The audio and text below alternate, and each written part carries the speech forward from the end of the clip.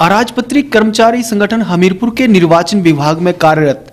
कर्मचारियों ने अपनी मांगों को लेकर आंदोलन को तेज कर दिया है और मांगों को अनदेखा किए जाने पर कर्मचारियों ने चारवें दिन आंदोलन जारी रखा और अब पेन डाउन हड़ताल शुरू कर दी है। हमीरपुर के निर्वाचन विभाग के कर्मचारियों ने सरकार के उदासीन रवैये के प्रति गहरा रोष व्यक्त किया है और सरकार के खिलाफ नारेबाजी भी की।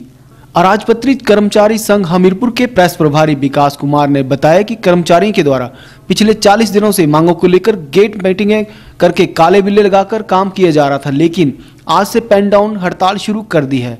उन्होंने बताया कि निर्वाचन कार्यालय हमीरपुर के कर्मचारियों की मांगों को अनदेखा किया जा रहा है।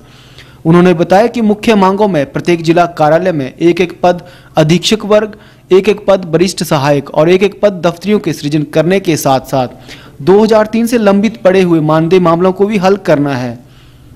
पेन डाउन हड़ताल में वंदना शर्मा बीरेंद्र सिंह, निताशा शर्मा, संजय कुमार, कश्मीर सिंह, कमरजीत सिंह, प्रदीप कुमार भी मौजूद रहे। कर्मचारी ने सरकार को चेताया है कि अगर सरकार ने जल्द मांगे नहीं मानी तो आंदोलन को और उग्र किया जाएगा।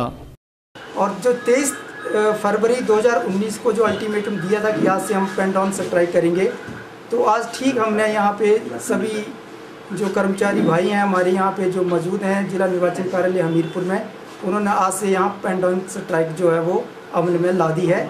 इसके साथ साथ ही जो हमारे सब डिविजनल लेवल के ऑफ़िस हैं नदौन है, सुजानपुर है, नीचे हमीरपुर का जो सब डिविजनल ऑफ़िस है, बड़सर है, वहाँ भी जो हमारे कर्मचारी हैं, निर्वाचन विभाग में कार्यरत, उन्होंने भी डाउन स्ट्राइक कर रखी है। तो ये हमारी जो पेंटॉन स्ट्राइक है, ये विभाग से और हिमाचल प्रदेश सरकार के प्रति तब तक ये चलती रहेगी जब तक हमारी जो जेन्यून डिमांड्स हैं, विभाग उनको पूरी नहीं कर देता। हमारी प्रमुख मांगों में हैं, जैसे कि सभी जिला स्तर पर हमारे जो अपने अधीक्षक वर्ग दो की पोस्टों को क्रिएट करना। कुछ पोस्टें इन्होंने दे रखी हैं ट्राइबल में दो पोस्टें दी हैं, दो तीन पोस्टें इन्होंने हेडक्वार्टर पे दी हैं। पार्लियामेंट्री हेडक्वार्टर का जहाँ तक प्रश्न है तो इन्होंने अभी तक हमीरपुर और अपना सॉरी मंडी जो है, वो पार्लियामेंट्री हेडक्वार्टर जो अभी तक खाली रखा है। इसके साथ साथ ही हमने ये भी डिमांड रखी है कि जो बाकी के ज़िले हैं, वहाँ भी ये ये जो अधीक्षक वर्ग दो की पोस्ट है, इसको तुरंत क्रिएट किया जाए। इसके साथ साथ ही जो हमारी पोस्टें हैं इसका जो पैटर्न है वो पिछले लगभग एक वर्ष 1986 से एक जैसा चला रहा है। और इस दौरान जो ये गैप आया आज 2019 तक, इसमें कई प्रकार की नए नए जो कार्य हैं, वो इलेक्शन कमीशन ऑफ़ इंडिया द्वारा नए नए प्रोग्राम हर दिन वो नए नए लॉन्च किए जा रहे हैं।